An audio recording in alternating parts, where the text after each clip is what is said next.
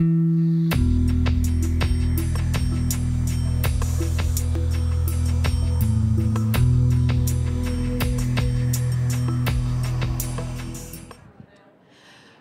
if we could all take our seats and take a nice deep breath. And first of all, I would like to thank all of you for your patience as we've been trying to get this together for our virtual audience. This is a new technology and a new experience for us doing the live events with this. We've been doing online courses and they work brilliantly. And it is such an incredible um, technology that allows us to connect globally with each other uh, with very little carbon footprint at a very low cost, uh, no travel, and and really the experience on the online uh, with the online participation is very intimate. You can chat with each other. If people have web cameras hooked up, we can see each other. So it's like being in a room like this together, and um, which is really wonderful. We're very excited. My my partner Cody and uh, has and I have been dreaming this work for over 20 years. Um, he birthed the idea for the Prophets Conference and these programs when we were living in our little cabin up 4,000 feet on Haleakala, in Maui. And it's been an amazing journey and amazing how it has developed and evolved over all these years. And here we get to come in a room today in Glastonbury with the sun shining on us. And you are here from South Africa, from Australia, from New Zealand, from um, Slovenia, from Latvia, from Belgium, from Spain, from the Netherlands, from France, from all over the UK, the United States, and Canada, and beyond, here live. And it is a, a precious moment to experience. We have had the gift, really, and pleasure of working with so many incredible teachers over the years and that each have a unique message and a unique way of presenting it.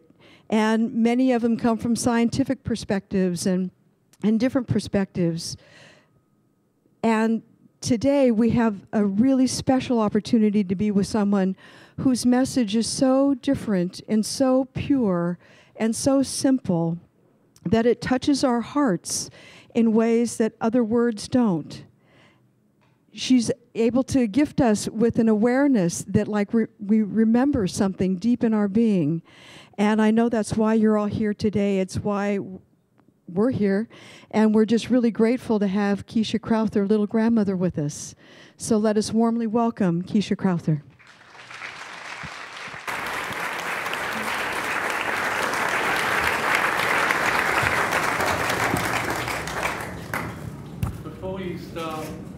grandmother, welcome to Glastonbury, England. Thank you. Am I on? I am on.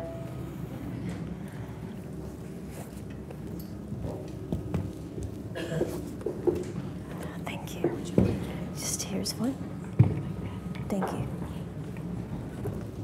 This is a tall chair for a little person. see if I can stay on this.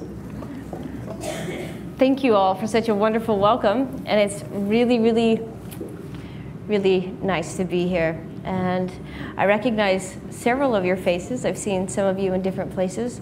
And we do have people from all over the world, which is really incredible. There's a little bit of feedback on this mic that is um, coming from this direction. I don't know if we can do anything about that. I've just arrived back from Australia, which was a fantastic trip.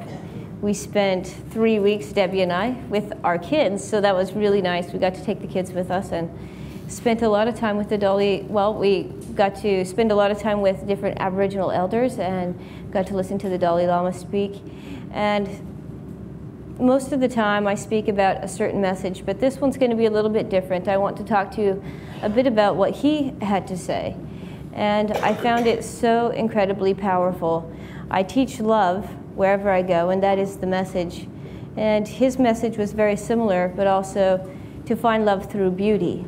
And I really thought how powerful this was and tried to realize it in my own life and how to really seek beauty in the simple things. He wasn't talking about going out and discovering a whole new life through something magical, but just to realize what magic is happening in your life every single day, at every given moment, from the meal that you eat that Mother Earth gave to you, or the partner that you have to share love with. Um, just the simple things. So I would like to talk a bit about this. How many of you know me from YouTube videos? Just about everyone. It's really incredible. After I was called to this position, I was asked to speak just to a very small crowd, probably 20 people in Santa Fe, and someone happened to record it, and up it went on YouTube. And this is what happened because of it. It's really incredible.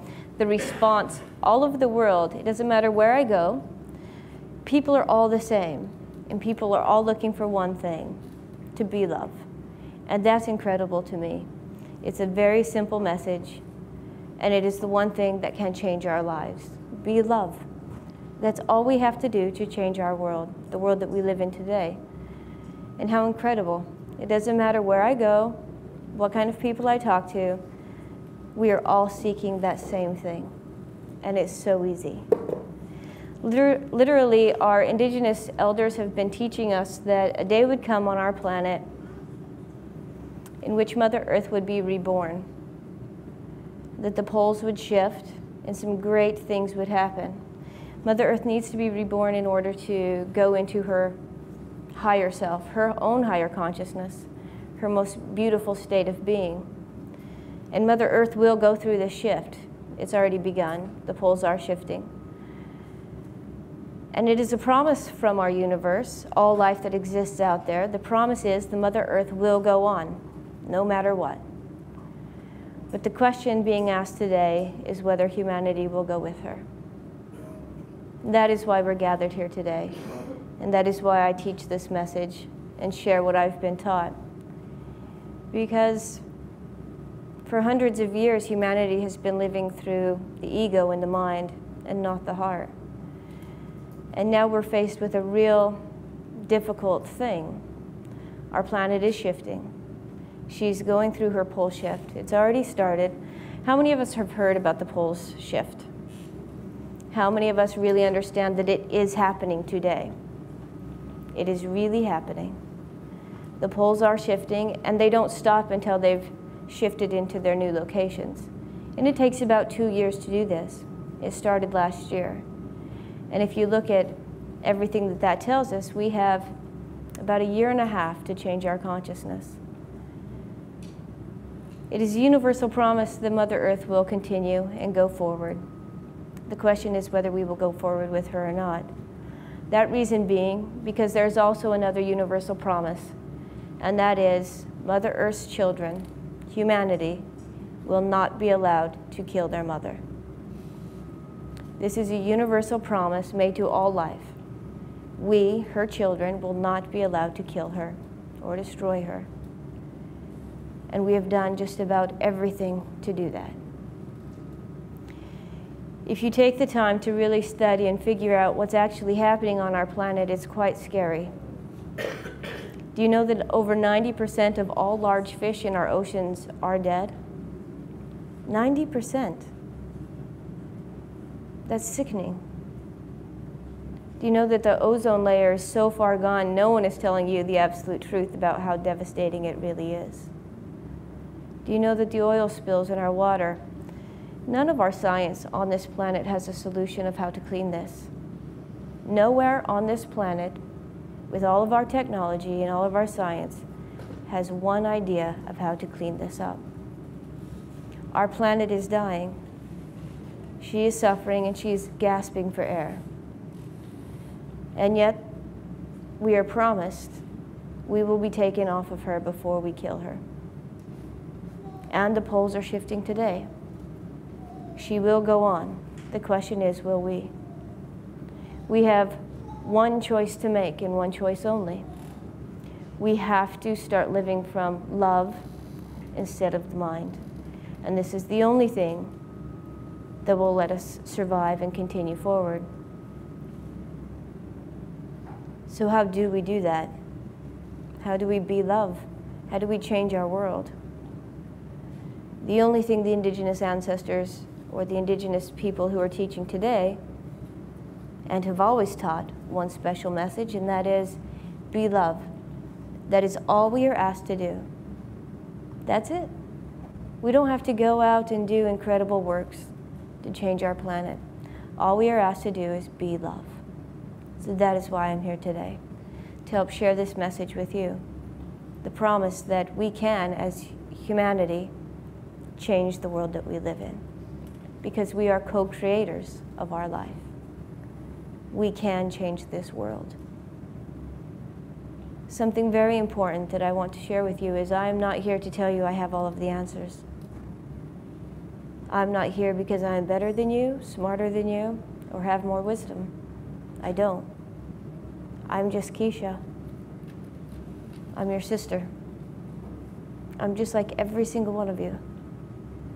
And I have gifts that I can share, just like you have gifts that you can share. And I've been very, very fortunate that one of my gifts is being able to talk to Mother Earth. Since I was about eight years old, I've been communicating with her. And she's in a very kind of scary situation right now. She is suffering a great deal. And she loves us. We are her children. How many of us here have a real relationship with our mother? A real relationship where you can say you know her.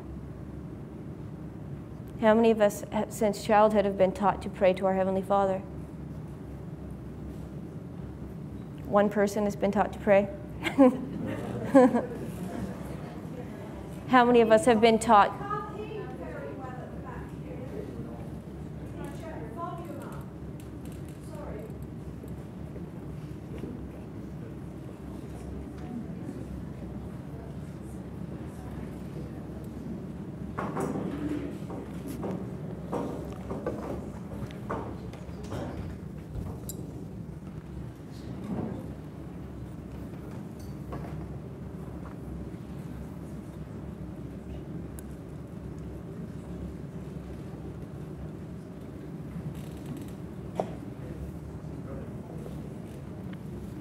I was asking how many of us um, have been taught to pray to our Heavenly Father.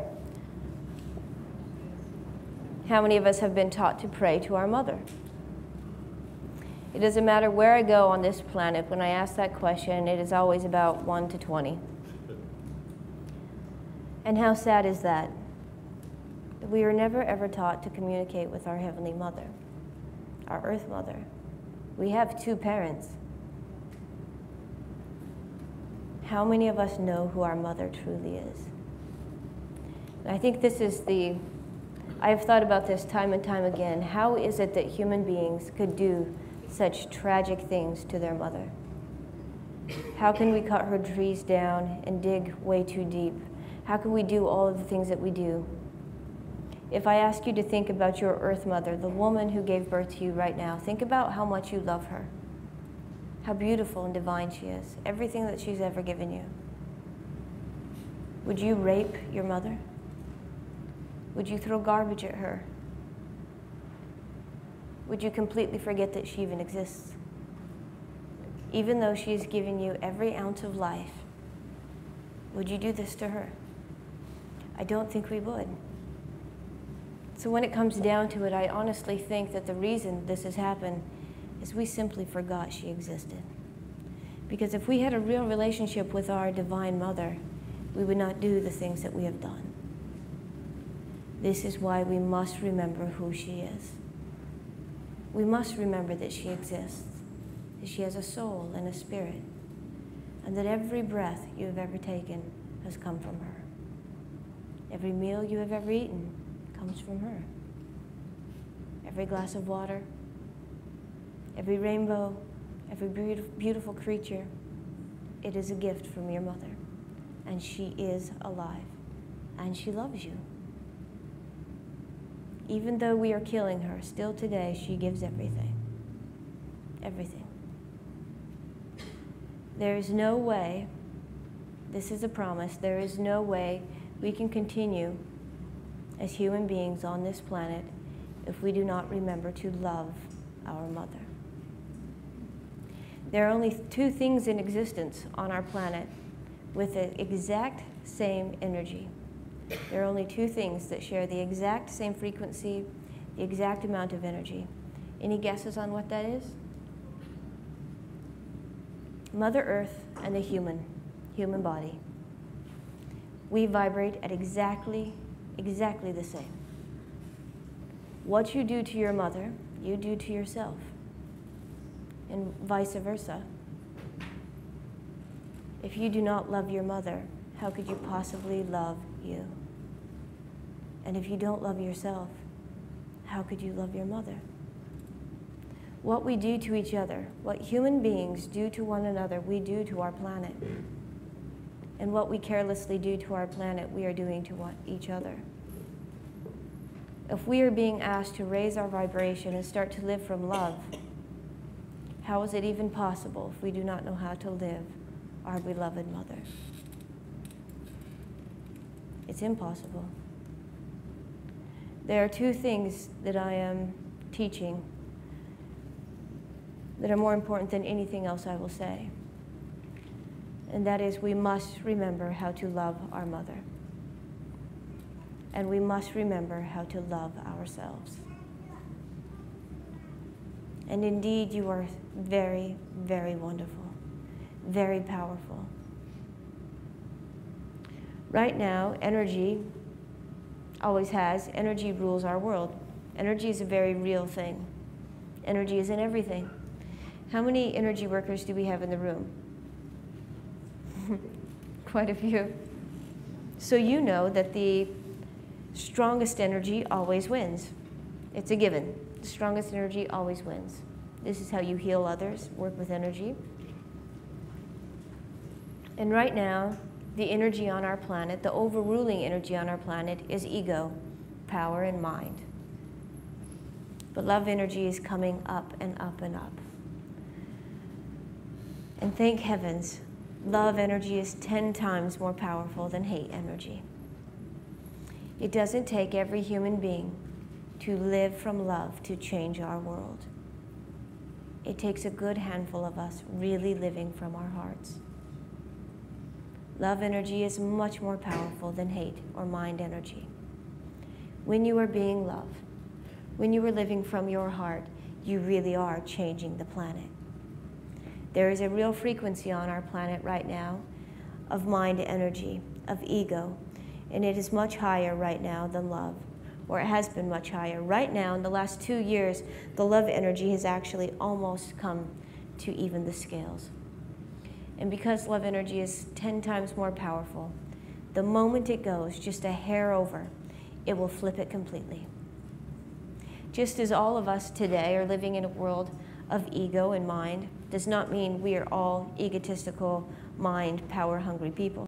There are many of us living here today with good hearts. And it is the us that have to change this world and to bring that energy up. Many of us think, how can we change the world?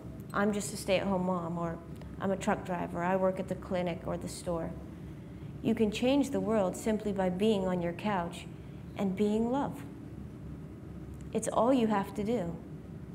There's no big march to go and join. There's no papers to sign. There's no screaming that needs to be done. Be love.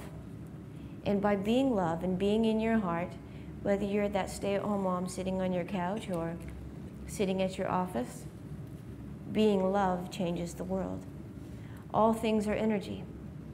And right now, love energy is really climbing on our planet we have about a year and a half to switch ego into love, into the heart. And it is rising. We are doing it. And it's vastly, vastly important. It is the only thing that will keep us moving forward. And it really is the only thing that matters on this planet. If you cannot be love and love yourself, it is a very real possibility we will lose our planet. But there is hope because we exist. those of us living from our heart, exist. And by simply being love, we give our children a planet to live on. We can stay. Not only do we get to stay, we get to go through the transformation with her. This is something to celebrate. We get to go up in our frequency. We get to step forward in a new era for mankind, one ruled by love. That day is something to celebrate. There are a few very small and simple, but vastly important things we can do as human, human beings to change our world. What do we do with our elderly today? What do we do with them? We throw them away, we put them away. The moment they stop becoming a working part of society, what do we do with our elderly? Do we revere them as we once did? They're the jewels of our family. They have the wisdom that we need. Respect the elderly.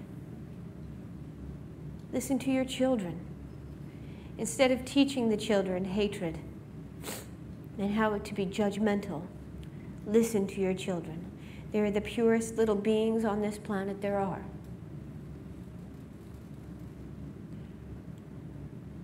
Love the disabled. There is only one group of people on this planet that vibrate higher than any other human being. Those are the mentally disabled they do vibrate at a much higher level. They have more energy than any other human being. They are incapable of ego. They are incapable of hatred. They are pure beauty and love. The next time you see a disabled person, know that you are looking at an angel on earth. Go out of your way to give them a hug or a smile. How many of you have smiled at a mentally disabled person? Have you seen what one smile will do for them? Just one smile. They are the most profoundly beautiful beings on our planet, and we throw them away. It's so devastating. As long as we continue to do this, we will not move forward as a human beings. As long as we throw away our elderly, we will not move forward as human beings. I am very, very proud to say that I am one child out of five, and I am the only one who is not mentally disabled. I have been raised with angels, and I will continue to live my life trying to live up to them. They are beautiful beings. We need to recognize angels when we see them.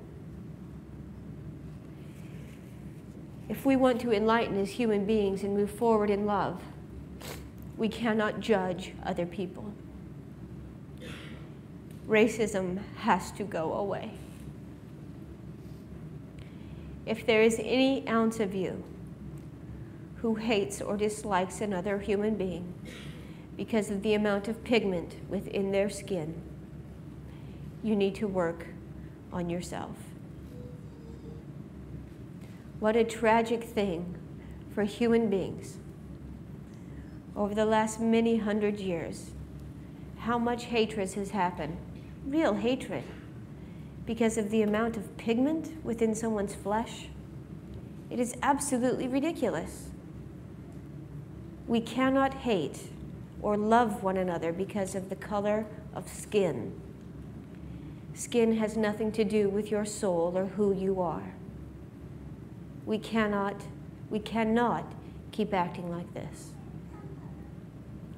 And we cannot hate another person for who they love.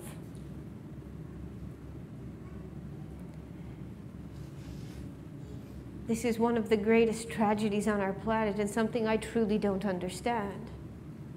Love is the most powerful energy on our planet. How can a human being hate another human being for who they love? We cannot act like this and wish to move forward. We must be love, truly be love, and love one another. We are each fighting a hard battle. We are each going through very stressful, hard things. We are all trying to move forward. And every single one of us has our own great I am giving us these lessons, placing it before us. We are living the exact journey that our great I am has handed to us. We cannot judge another for their journey. We can love them through it. We can help them through it. We have so much potential to love, to be love. And we really can change our world. I know we can. We are the strongest of the strong. We are the prophesied tribe of many colors. We are it. There's nothing to sign, nothing to pay for. You just are. The tribe of many colors are those who will be living on the planet during the great shift. Those who will open their hearts and love their brothers and sisters and love their Mother Earth. You are all members of the tribe of many colors. We all are. And we are all equal and divine. And we all can change our planet. Whether you have wisdom keeper for a title, or sister, or brother, or hey you, it doesn't matter. Titles do not matter. What matters is the love we can give each other. I want to take a 10 minute break, go to the bathroom, get a drink, whatever you need to do, and we'll be back in 10 minutes. Thank you so much.